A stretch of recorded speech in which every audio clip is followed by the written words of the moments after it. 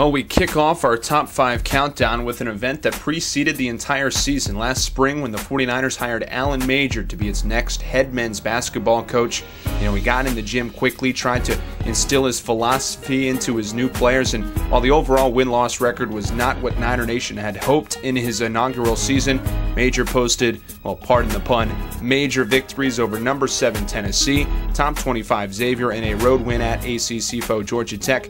First year head coach Alan Major, a no brainer top five moment from this season. And when you think number four, it's not really a play, but an entire game, the annual whiteout game, and it did not disappoint. The 49ers tipped it up against nationally ranked Xavier, and this heavyweight fight went the distance. Derrio Green poured in a couple big threes. Braswell got into the action on the offensive end. Little spin cycle move up the right side. And this, a big play in this one. JB over the back, gets the offensive rebound and the stick back. That one late in that contest. And then the hustle play by Barnett, diving on the floor, getting the loose ball, calling timeout. And KJ Sherrill drawing the charge in the lane late the Niners would get the win over X. And those Beat X t shirts, there you see one right there. The fans were able to uh, well, they were able to taunt a little bit and celebrate. Some some of these games, few and far between, but they uh, relished the victory here.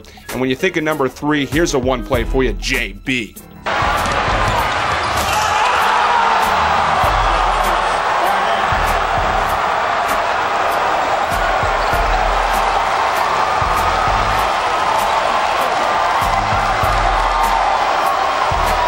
I hear you, kid. The fantastic throwdown at Davidson. Listen, the Niners lost the game, but that is a memorable play by Barnett. Let's take a look at it, cut it up over and over again.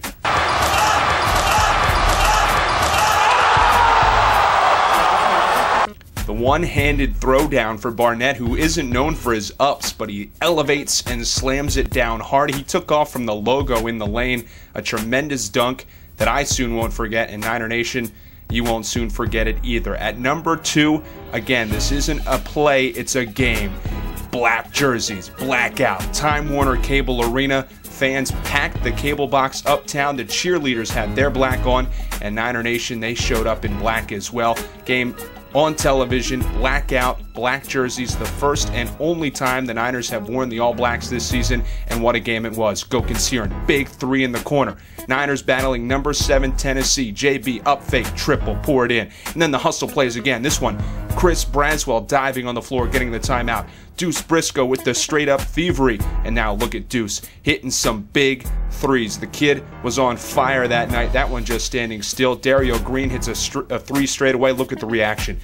Look at the reaction from number one, DG, and then the big blocks by Phil Jones. Thank you very much. Get out of here. Niners get the win over Tennessee, and well, that's number one play of the year. 81% free throw shooter, and he misses. Niners have the rebound. They can win with a bucket. They've got no timeouts. Derrio Green, front court, top of the key, drives, finds Phil, layup, oh good! Seven seconds to go. Niners lead, 49-48. Thompson out top, gets into the paint. They call a timeout with 3.3 seconds to go. The 49ers are winning. That's Matt Swarat and yours truly on the call. I had goosebumps and chills sitting courtside. You've got big six foot ten inch Phil Jones, jumping jack guarding him out front. They get it to Hopson. Back to Tatum. Long three to win. No good. A 49ers winner. They beat number seven Tennessee. And they storm the floor in uptown Charlotte. 49-48. The Niners knock off number seven Tennessee. They'll be partying in the streets of downtown Queen City tonight. Alan Major, welcome to Charlotte. Your first huge win as a 49er. The first of, I'm sure, many to come.